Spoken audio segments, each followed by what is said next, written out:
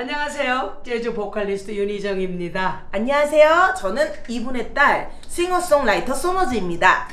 네, 2020 도쿄 패럴림픽 선수단 여러분, 아, 올해 준비하신 만큼 아, 이번 좋은 결과 기대하고 있겠습니다. 네, 응원하겠습니다. 우리 응원 한번 해볼까? 그래, 네. 좋아요. 하나, 둘, 셋.